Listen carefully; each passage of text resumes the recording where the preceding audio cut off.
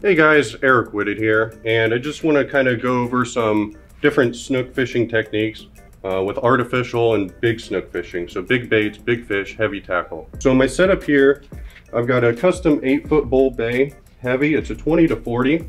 Um, any 8-foot heavy rod will work. You just want to make sure you really have that backbone so you can muscle those fish out of structure.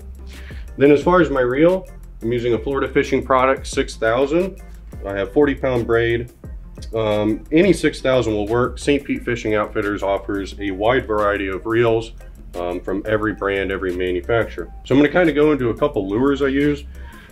one of my mainstays is First Light Tackle Snook Jigs, one ounce, one and a half ounce, depending on the spot.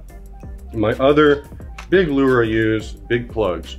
Yo-Zuris, um, this is one of my favorites, SXR 14, um, Bomber Wind Cheater, Yo-Zuri Crystal Minnow. Then just some quick tips about line and leader. 40 pound braids, usually what I use. Sometimes I'll go down to 30 if I need those longer casts.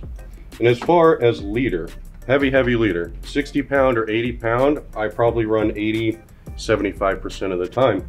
One last thing that's really important, always keep that drag tight. Make sure you can pull them out of that structure. The health of the fish is the most important. So using these things is basically what I go out with and um, catch my stuff.